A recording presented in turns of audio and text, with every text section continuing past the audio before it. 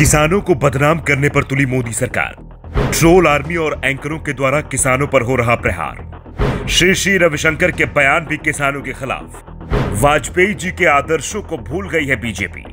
अटल बिहारी वाजपेयी ने किया था किसानों के आंदोलन का समर्थन। न जाने सरकार को किसानों से क्या डर है कि पहले कीले बिछाई गई और अब ट्रोल आर्मी के द्वारा उनको बदनाम करने की साजिश रची जा रही है।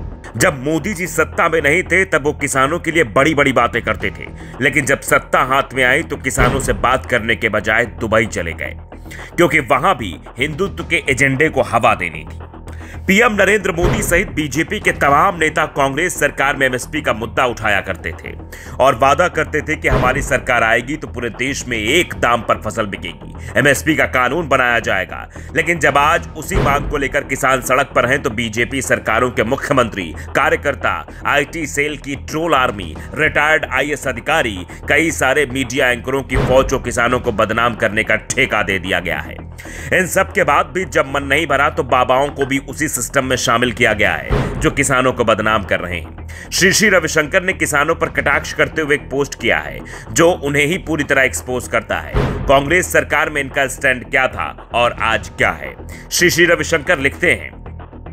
किसानों का एक छोटा सा हिस्सा पूरे देश पर हुकूमत नहीं चला सकता।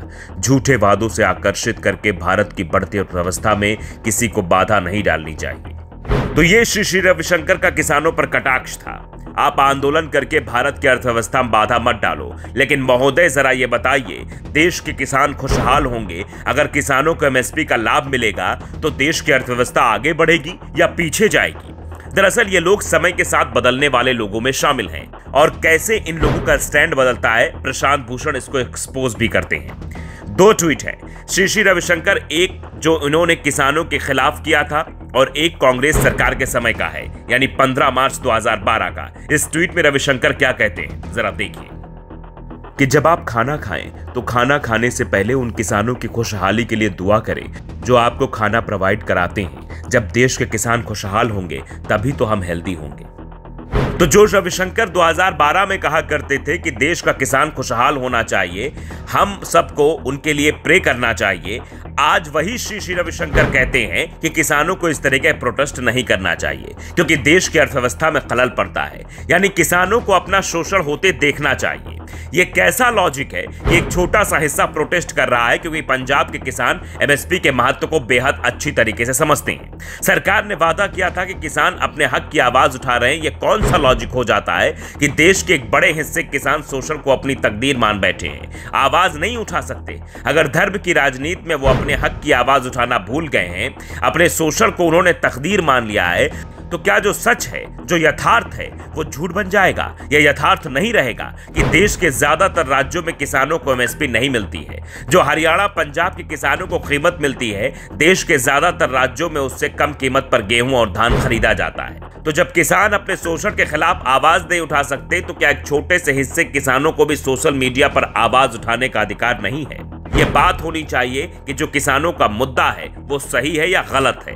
एमएसपी का वादा पीएम मोदी ने किया था कि नहीं किया था? बस इस बात का जवाब इस इकोसिस्टम को देने की बजाय किसानों को बदनाम किया जा रहा है। प्रोटेस्ट कर रहे किसानों के खिलाफ ऐसे दमन पर पूर्व प्रधानमंत्री अटल बिहारी वाजपेयी का यह बयान उन लोगों को ज़रूर सुनना चाहिए जो किसानों को बदनाम कर रहे हैं। सुनिए। और अगर सरकार दमन करेगी, कानून का दुरुपयोग करेगी शांतिपूर्ण आंदोलन को दबाने की कोशिश करेगी तो किसानों के संघर्ष में, कूदने में हम संकोच नहीं करेंगे, हम उनके साथ कंधे से कंधा लगाकर खड़े रहेंगे। तब की सरकारों ने दमन की नीति अपनाई, तब वाजपेयी जी ने कहा था, अगर किसानों को दबाया गया, अगर किसानों के खिलाफ हिंसा का इस्तेमाल किया गया तो हम भी मैदान में उतर जाएँगे।